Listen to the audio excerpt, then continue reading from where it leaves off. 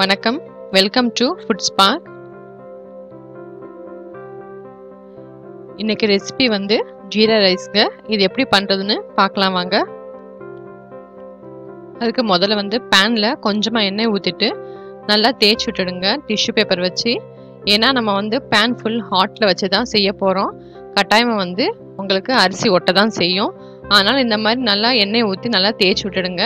நீங்கள் வேறு ஏதாவது பாத்திரத்தில் பண்ணுறதா இருந்தால் ஒரு டீஸ்பூன் வரைக்கும் எண்ணெய் ஊற்றிக்கோங்க இப்போ நான் வந்து ஹை ஃப்ளேமில் வச்சுட்டு ரெண்டு டீஸ்பூன் வரைக்கும் நெய் சேர்த்துக்கிறேன். ஒரு கப் ரைஸுக்கு வந்து ரெண்டு டீஸ்பூன் நெய் சேர்த்துக்கோங்க.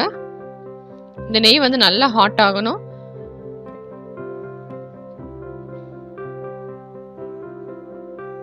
இப்போ பார்த்தீங்கன்னா நெய் வந்து நல்லா சூடு ஆயிடுச்சு நான் வந்து சீரம் சேர்த்துடுறேன் நெய் வந்து நல்லா சூடு ஏறினதுக்கு தான் நீங்கள் வந்து நெய் சீரத்தை சேர்க்கணுங்க. அப்போ தான் வந்து உங்களுக்கு ஃப்ளேவரும் டேஸ்ட்டும் நல்லாயிருக்கும் இது வந்து நல்லா ப்ரௌன் கலரில் வரணும். நல்ல ஃப்ளேவர் வருங்க. அந்த ஸ்டேஜில் வந்து நீங்கள் சாப்பாடு சேர்த்திங்கன்னா கரெக்டாக இருக்கும்.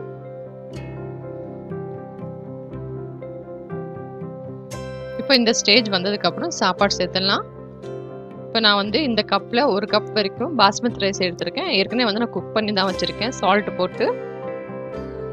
இப்போ இதை வந்து நம்ம சேர்த்துடலாம்.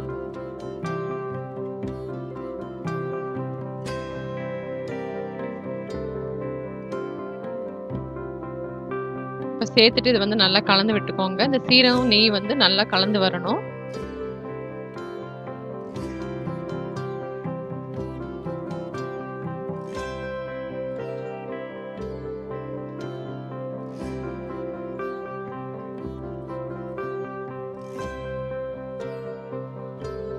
இப்போ பார்த்தீங்கன்னா இந்த மாதிரி நல்லா கலந்து விட்டுட்டு இப்போ வந்து மல்லிச்செடி சேர்த்துக்கோங்க.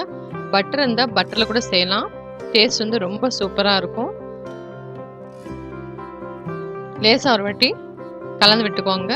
நீங்களும் ட்ரை பண்ணி பாருங்கள் கமெண்ட் பண்ணுங்கள் ஷேர் பண்ணுங்கள் சப்ஸ்கிரைப் பண்ணுங்கள் இப்போ பார்த்தீங்கன்னா ஜீரா ரைஸ் ரெடி ஆயிடுச்சு.